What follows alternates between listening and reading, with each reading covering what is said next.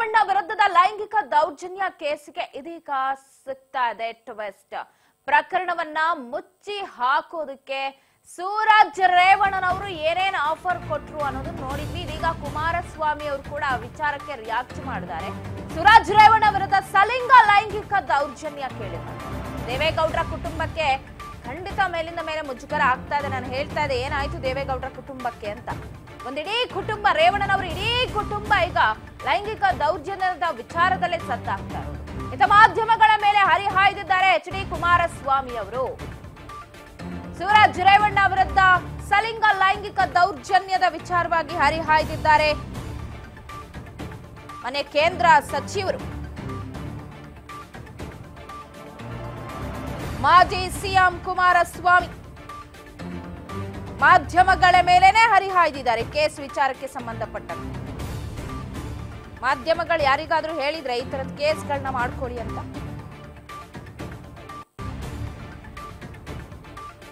ರಾಜಕಾರಣಿಗಳಿಗೆ ಪ್ರಚಾರದ ಸಂದರ್ಭದಲ್ಲಿ ಮಾತ್ರ ಮಾಧ್ಯಮಗಳು ತಮ್ಮ ಪ್ರಚಾರಕ್ಕೆ ಬಳಸ್ಕೊಳ್ಳೋದಕ್ಕೆ ಬೇಕು. ವಿರುದ್ಧ ಏನೇ ಒಂದು ಕೇಸ್ಗಳು ಮಾಡಿದ್ರು ಕೂಡ ಹರಿಹಾಯೋದೇ ಕೆಲಸ. ಇಲ್ಲಿ ಮಾನ್ಯ ಕುಮಾರಸ್ವಾಮಿ ಅವರು ಕೂಡ ಮಾಡಿರೋದು ಅದನ್ನೇ. ಮಾಧ್ಯಮಗಳ ಮೇಲೇನೆ ಹರಿಹಾಯ್ದಿದ್ದಾರೆ ಈ ವಿಚಾರಕ್ಕೆ ಸಂಬಂಧಪಟ್ಟಂತೆ. ಕಾನೂನಿದೆ, ಕಾನೂನಾತ್ಮಕವಾಗಿ ಎಲ್ಲವೂ ನಡೆಯುತ್ತೆ. ಅದ್ರ ಬಗ್ಗೆ ನನ್ನ ಬಳಿ ಚರ್ಚೆಯನ್ನ ಮಾಡೋದು ಬೇಡ ಅಂತ. ಹರಿಹಾಯ್ದಿದ್ದಾರೆ ರಾಜಕೀಯ ವಿಚಾರ ಇದ್ರೆ ಏನಾದ್ರೂ ಮಾತಾಡಿ, ಚರ್ಚೆ ಮಾಡಿ. ಈ ಲೈಂಗಿಕ ವಿಚಾರ ಅದು ಇದು ಅಂತ ನನ್ನ ಹತ್ರ ತರಬೇಡಿ. ಅದೆಲ್ಲವೂ ಕೂಡ ಕಾನೂನಿದೆ, ಕಾನೂನು ನೋಡ್ಕೊಳ್ಳತ್ತೆ ಅಂತ ರಿಯಾಕ್ಟ್ ಮಾಡಿದ್ದಾರೆ ಕುಮಾರಸ್ವಾಮಿ.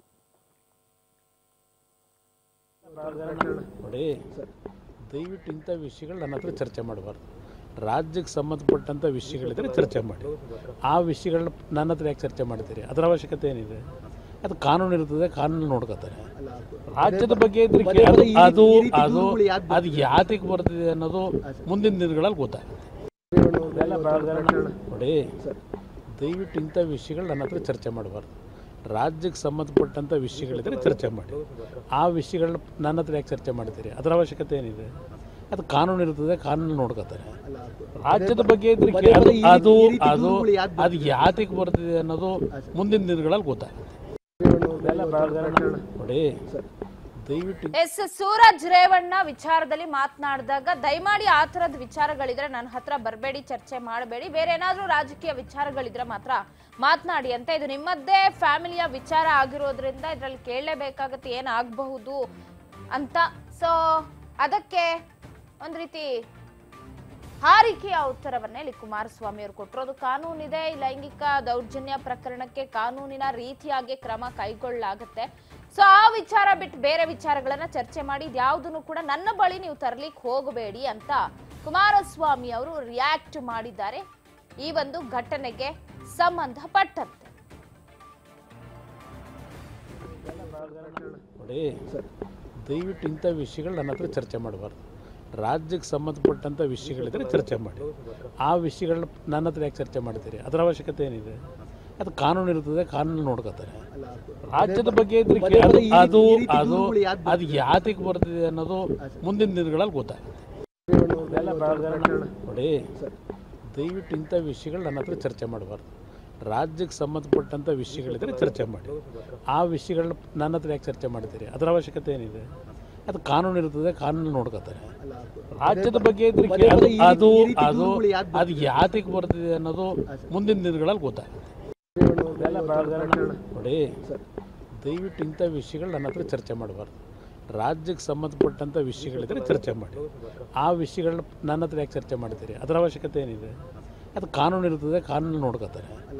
ರಾಜ್ಯದ ಬಗ್ಗೆ ಇದ್ರೆ ಅದು ಅದು ಅದು ಯಾತಕ್ಕೆ ಬರ್ತಿದೆ ಅನ್ನೋದು ಮುಂದಿನ ದಿನಗಳಲ್ಲಿ ಗೊತ್ತಾಗುತ್ತೆ. ನೋಡಿ ದಯವಿಟ್ಟು ಇಂಥ ವಿಷಯಗಳು ನನ್ನ ಹತ್ರ ಚರ್ಚೆ ಮಾಡಬಾರ್ದು. ರಾಜ್ಯಕ್ಕೆ ಸಂಬಂಧಪಟ್ಟಂಥ ವಿಷಯಗಳಿದ್ರೆ ಚರ್ಚೆ ಮಾಡಿ. ಆ ವಿಷಯಗಳನ್ನ ನನ್ನ ಹತ್ರ ಯಾಕೆ ಚರ್ಚೆ ಮಾಡ್ತೀರಿ? ಅದರ ಅವಶ್ಯಕತೆ ಏನಿದೆ?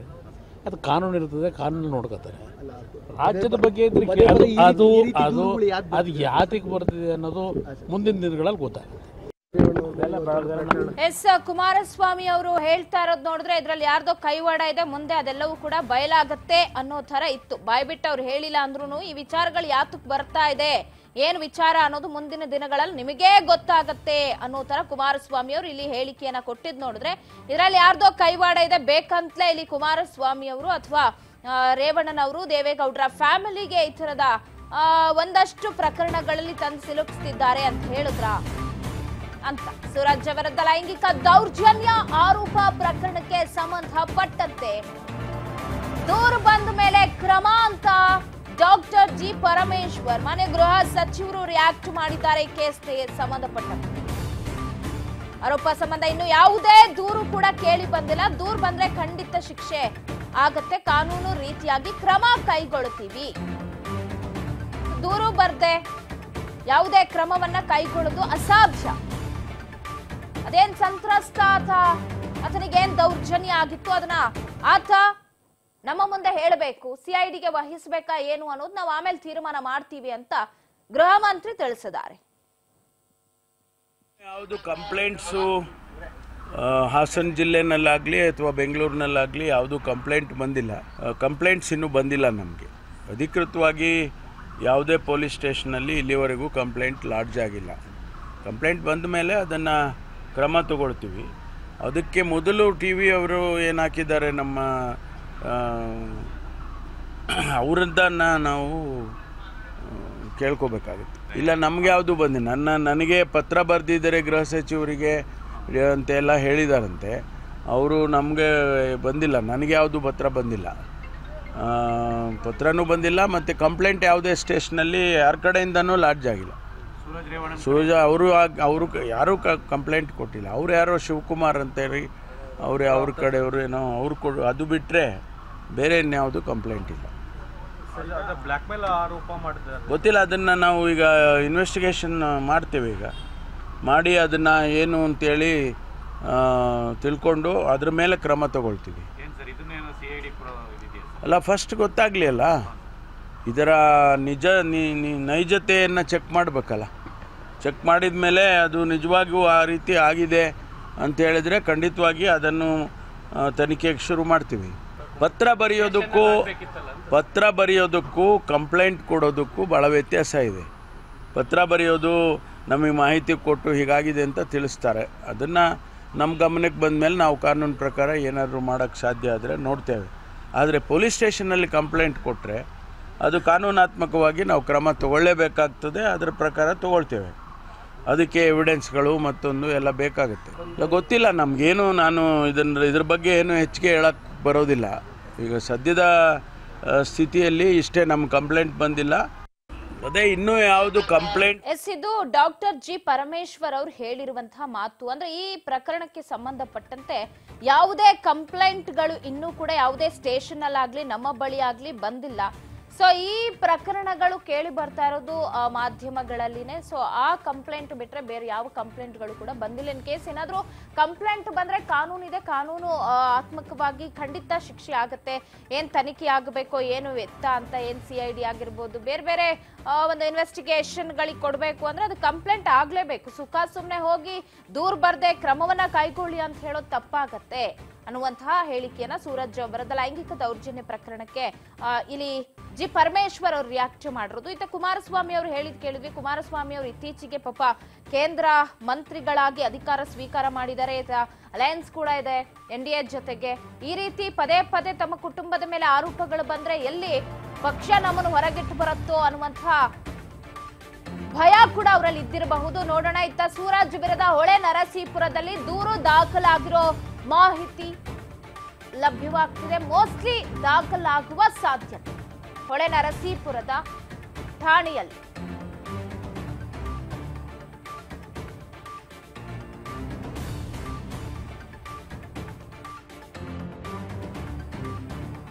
ಸೂರಜ್ ವಿರುದ್ಧ ಹೊಳೆ ನರಸೀಪುರದಲ್ಲಿ ದೂರು ನೀಡೋ ಸಾಧ್ಯತೆ ಇದೆ.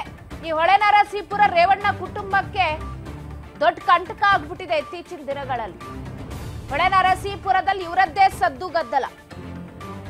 ಒಬ್ಬರದ್ದಾದ ತಕ್ಷಣ ಒಬ್ಬರದ್ದು.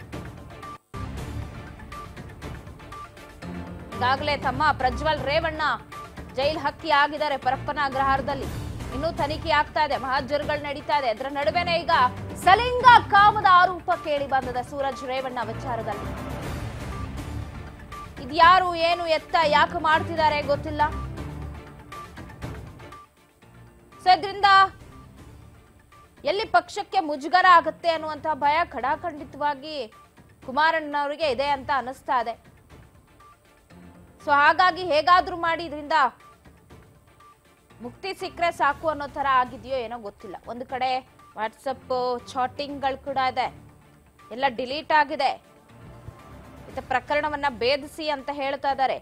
ಬಟ್ ಇವರು ಕಂಪ್ಲೇಂಟೇ ಆಗಿಲ್ಲ ಅಂತ ಗೃಹ ಮಂತ್ರಿಗಳು ಹೇಳ್ತಾ ಇದ್ದಾರೆ ಹೌದು ಕಂಪ್ಲೇಂಟೇ ಆಗದೆ ಇದ್ರೆ ಕ್ರಮ ಕೈಗೊಳ್ಳೋದು ಅದು ಸಾಧ್ಯ ಇಲ್ಲ. ಅವರು ಕೇಳ್ತಾರಲ್ವ, ನಿಮ್ಮ ಹತ್ರ ಎಲ್ಲಿದೆ ಅರೆಸ್ಟ್ ವಾರೆಂಟ್ ಆಗಿರ್ಬೋದು, ನಮಗೆ ನೋಟಿಸ್ ಎಲ್ಲಿದೆ, ಸುಖ ಸುಮ್ಮನೆ ಯಾರೋ ಬಂದು ಹೇಳಿದ್ರು ಅಂತ ನೀವು ನಮ್ಮ ಮೇಲೆ ಆರೋಪ ಮಾಡೋದು ತಪ್ಪು ಅಂತ ಹೇಳ್ತಾರೆ. ಕಾನೂನು, ಕಾನೂನಾತ್ಮಕವಾಗಿ ಹೋಗ್ಬೇಕು. ನಮ್ಮ ಹತ್ರ ಅಧಿಕಾರ ಇದೆ. ನಾನು ಸಿ ಎಂ ನಾನು ಡಿ ಸಿ ಎಂ ನಾನು ಗೃಹ ಮಂತ್ರಿ ಅಂತ ಹೆಂಗ ಬೇಕಂಗೆ ಅಧಿಕಾರ ಚಲಾಯಿಸೋದಕ್ಕಾಗಲ್ಲ.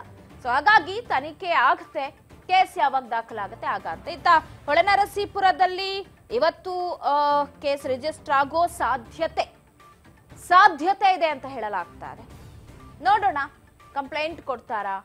ಏನಾಗುತ್ತೆ ಅನ್ನುವ ವಿಚಾರಕ್ಕೆ ಸಂಬಂಧಪಟ್ಟಂತೆ. ವಕೀಲರ ಮೂಲಕ ದೂರು ನೀಡೋದಿಕ್ಕೆ ಸಂತ್ರಸ್ತೆ ವಕ ಹೊಳೆ ನರಸೀಪುರಕ್ಕೆ ತೆರಳುತ್ತಾರಂತೆ. ಇವತ್ತೇ ಬಹುಶಃ ಹೋಗಬಹುದಾದ ಸಾಧ್ಯತೆಗಳು ಕೂಡ ಇದೆ.